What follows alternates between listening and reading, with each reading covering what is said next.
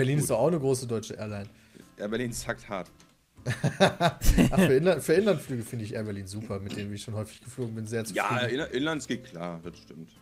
Kriegst auch kostenlos was zu trinken und so, das ist okay. Vor Ja, allen Dingen, genau. wenn du dann, wenn du dann irgendwie sechs, fast sieben Stunden so eine etwas ältere Dame hinter dir sitzen hast, die sich mit äh, Touchscreens nicht auskennt und meint, mit ihren, mit ihren fettigen Fingern darauf rumpatschen und drücken zu müssen. Heißt, wenn du schlafen willst, du ständig da dieses Klopfe von hinten hast. Und wenn die aufsteht, um ihre, ihre alte Rentnerblase zu entleeren, sich an deinem Sitz abstützt, dich nach hinten zieht und wenn die loslässt, du noch so nach vorne federst. Wo ich mir denke, so, Alter, ey, die hat mich so fertig gemacht, die Alte.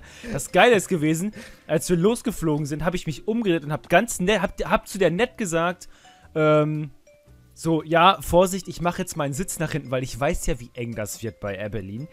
Und hab so ganz vorsichtig, und dann sagt die Originalton zu mir, ja, äh, aber bei, wenn das Essen kommt, machen sie den gefälligst wieder nach vorne.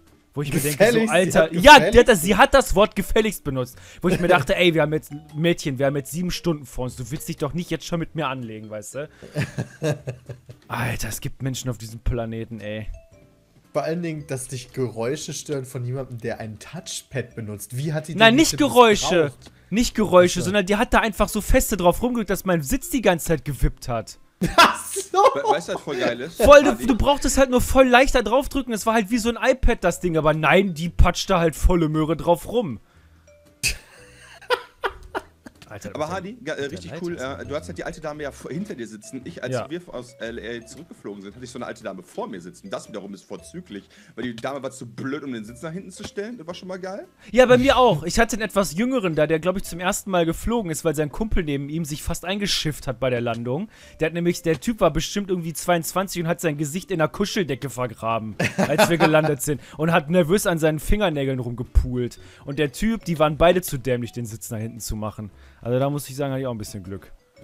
Und äh, die hat auch es geschafft, am Anfang ihre Bildschirm auf Chinesisch zu stellen. Und hat dann irgendwie ungefähr, ich sag mal so sechs Stunden des Fluges damit verbracht, sinnlos alle Knöpfe zu drücken, um den Bildschirm dann irgendwann umzustellen. Bis dann halt, bis sie auf die Idee kam, den Knopf in der Armlehne zu drücken für einen Steward.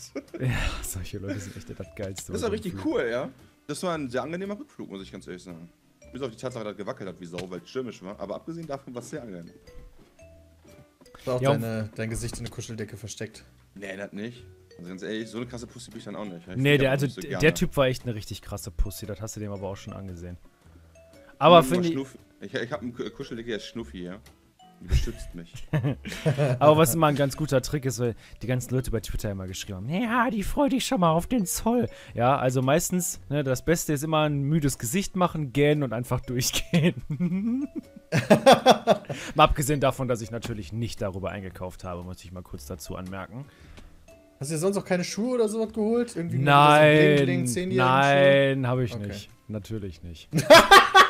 nein, ich habe mir, ich hab mir weiße, ich habe mir weiße Converse geholt. Aber die haben nur 30 Dollar gekostet. Nee, nicht ganz.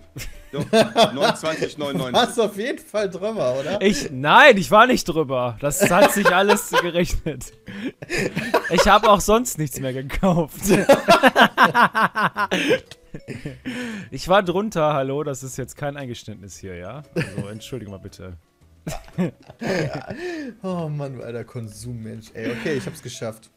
Hallo, wenn man schon einmal da ist und der, der, der Dollarkurs gerade so mega vorzüglich scheiße ist, da muss Ist man der mal ein gerade vorzüglich? Nein, dachte, Mann, der wär- 122 Dollar sind 110 Euro oder sowas, der ist richtig beschissen. Ja, Mann, erstmal die Chance nutzen. Ja, auf jeden Fall. Aber wir haben ja genug Firma, Peter. Jawohl! Alter Vater, was war das denn? Okay, das war gar nicht so schlecht. Alter. das hat mal eben. Das hat mal eben. Die Dateien hier. Äh, neu. Ja, sag's uns. Oh!